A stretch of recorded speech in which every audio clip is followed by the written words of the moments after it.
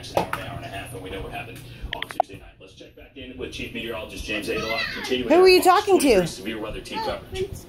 Again, in the metro area, Huh? no severe thunderstorm threat. We do have some calling you. thunder across all. He did.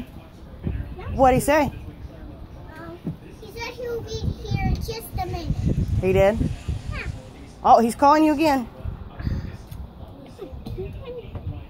Stay out here so you can hear him.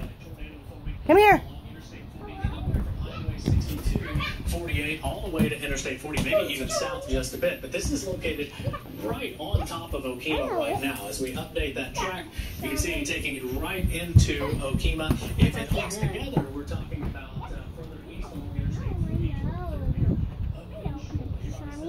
Hi.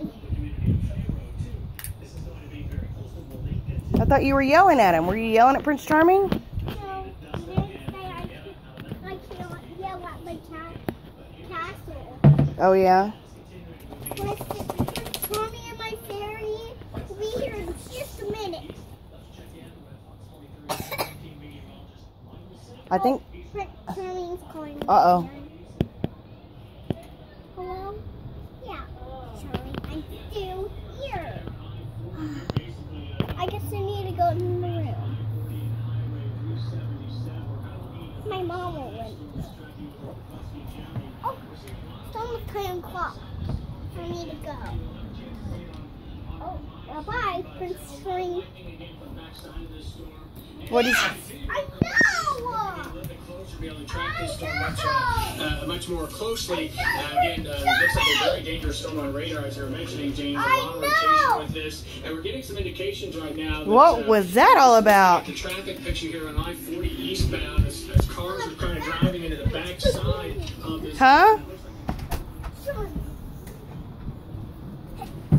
What did he say to make you so mad?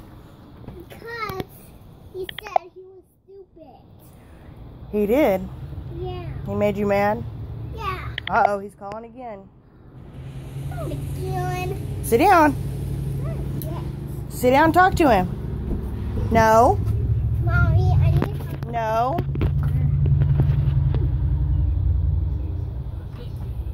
It's a princess cheer. Yeah, Prince Tommy. Yeah, bye.